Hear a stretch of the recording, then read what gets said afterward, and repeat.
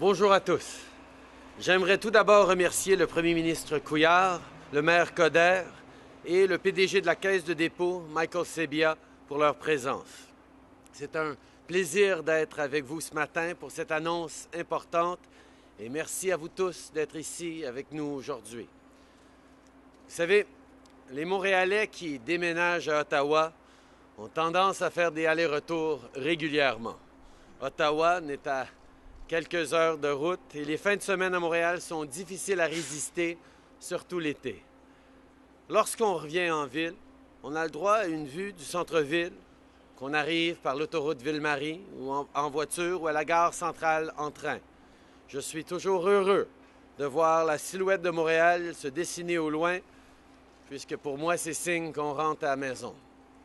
Chaque fois, je me dis à quel point le paysage a changé dans les dernières années.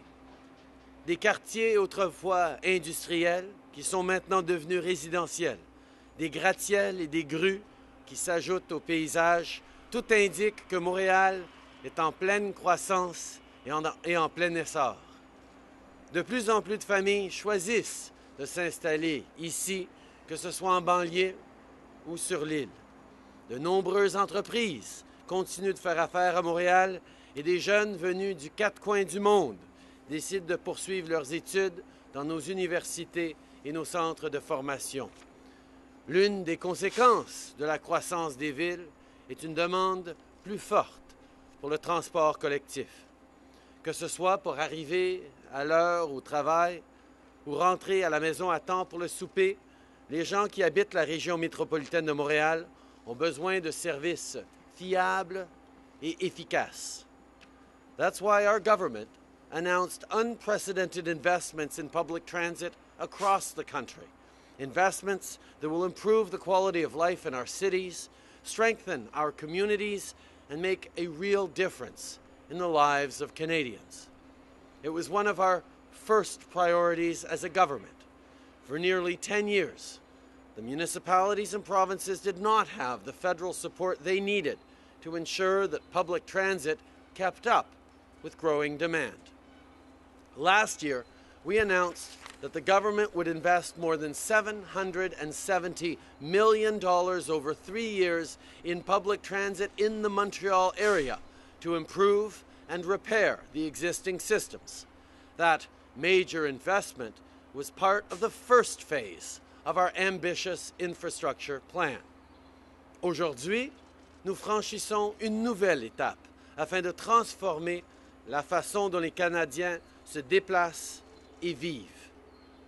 Je suis fier d'annoncer que le gouvernement du Canada sera un partenaire du gouvernement du Québec et de la Caisse de dépôt et placement du Québec dans le projet du réseau électrique métropolitain.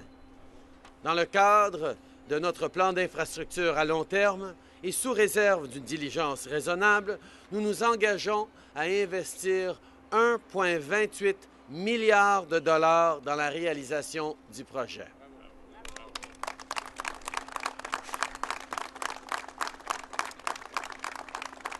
L'annonce aujourd'hui aidera nos partenaires à finaliser le montage financier du projet et à respecter l'échéancier de construction de la Caisse. I'm proud to announce that the Government of Canada will partner with the Government of Quebec and the Caisse de dépôt et placement du Québec in the Montreal Electric Network REM project. As part of our long-term infrastructure plan, we are committed to invest $1.28 billion to complete the project subject to due diligence. Au départ, ces fonds seront versés sous forme d'une subvention qui proviendra de l'allocation réservée au Québec pour le transport en commun et l'infrastructure verte.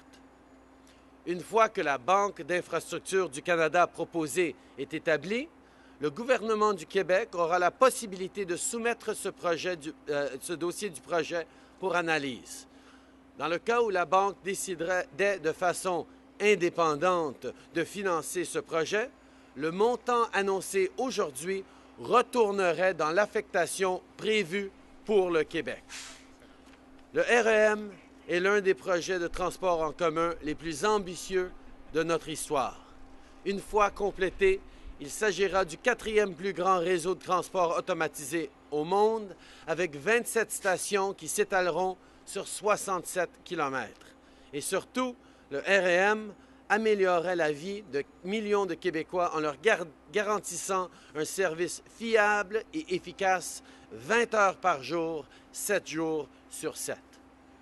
Je vous donne un exemple.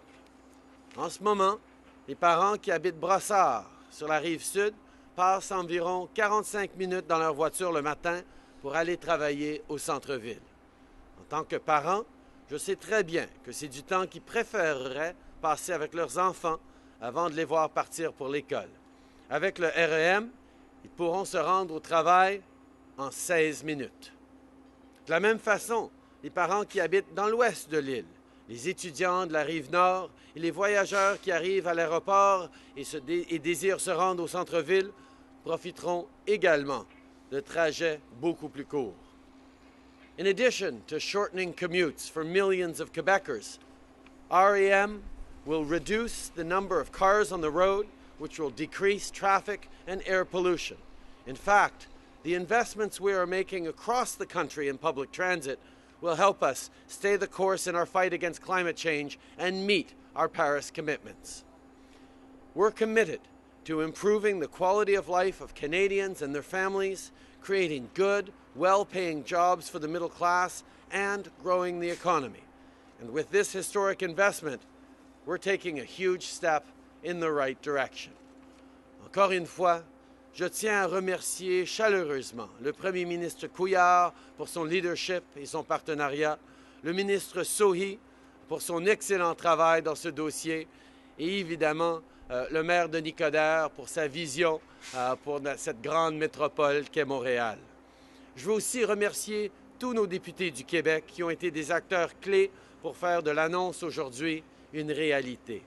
Nous sommes fiers d'être vos partenaires dans ce projet ambitieux qui transformera la façon dont les millions de Québécois se déplacent et profitent de tout ce que Montréal a à leur offrir.